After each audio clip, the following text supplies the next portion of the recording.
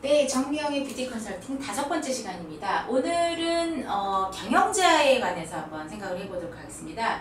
어, 우리가 유명한 그 제너럴 모테스의 어, 제겔치의 경영자가 가지고 있어야 할 네 가지 이에 대해서 한번 살펴보도록 하겠습니다.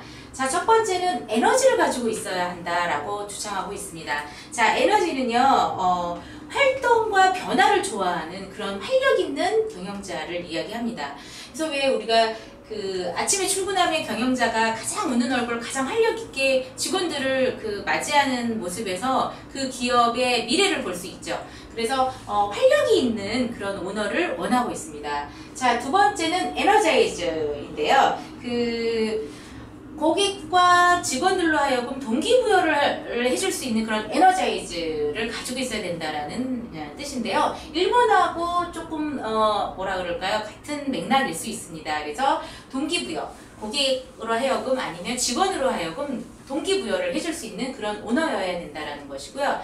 어, 세 번째는 엣지입니다. 이거는 아주 강렬한 통찰력을 가지고 있어야 된다는 얘기인데요. 어떤 때는 오너가 냉정할 필요도 있고 어떤 때는 푸근한 엄마와도 같은 그런 역할을 다 해줘야 되는데 어, 여기서는 이제 어떤 냉정하고 이성적인 통찰력을 이야기하는 것 같습니다. 그래서 우리가 기업에서는 어, 예기치 못한 어떤 상황들이 굉장히 많이 벌어지죠. 그럴 때 이성적으로 냉정하게 판단해 줄 수 있는 그런 경영자를 원하고 있습니다.